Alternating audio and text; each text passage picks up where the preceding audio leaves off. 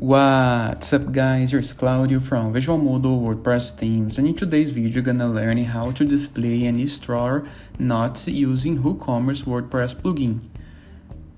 As you can see here in our Nectar WordPress theme demonstrative website, we did use the WooCommerce WordPress plugin to display and sell using the plugin features and create this nice store. But what if you want to display and notes across your entire website about something on your store, like a big sale, for example. First of all, make sure that you have the WooCommerce plugin installed and updated. After that, go to your WordPress dashboard, Appearance, Customize. Click on it.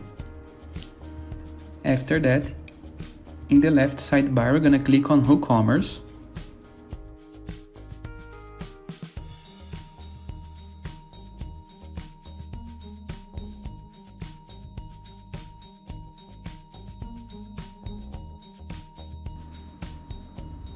As soon as you click on it, the very first option gonna be Store Notice.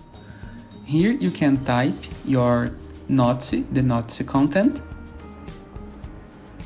In the case that you want more options, I'm gonna leave a link in the description below and a card over here for another video tutorial where I do explain how to display a site note using the theme options, with options to apply links for example. But as soon as you select the field Enable Store Notice and publish the page, the update, you can see an store notice in the top of your website. In addition, in the case that you want, you can click on this little cog icon, the config icon next to the publish blue button, in, so you can shadow the notes. You can set the notes to appear in some date in the feature, like in the November, for example, in the Black Friday.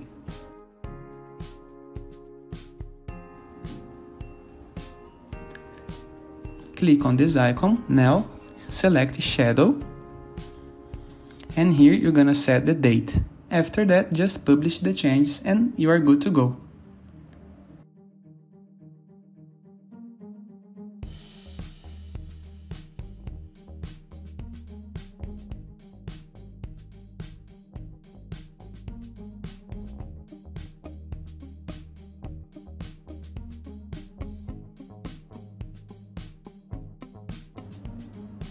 I hope you enjoyed this video, feel free to use the comment section below in the case that you have any question, and don't forget to check out the visualmodo.com portfolio of amazing WordPress themes and compatibility with the WooCommerce WordPress plugin as well.